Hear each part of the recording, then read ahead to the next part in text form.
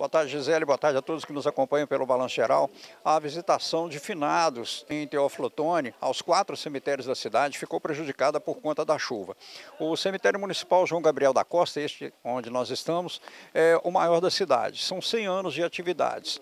E a previsão era de aproximadamente 15 mil pessoas em visitação das 7 da manhã às 5 da tarde, mas isso ficou prejudicado por conta das chuvas.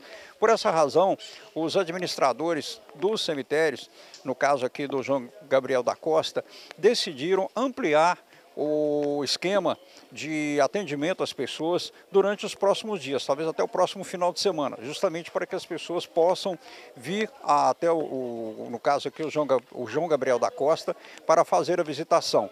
Então, as pessoas que não puderam vir podem ficar tranquilas. O esquema de a, suporte às pessoas vai continuar. E ainda nos demais cemitérios, a possibilidade de que também os administradores tomem a mesma posição, de dar suporte às pessoas que não puderam vir em função da chuva. Fantoni Peço para o Balanço Geral.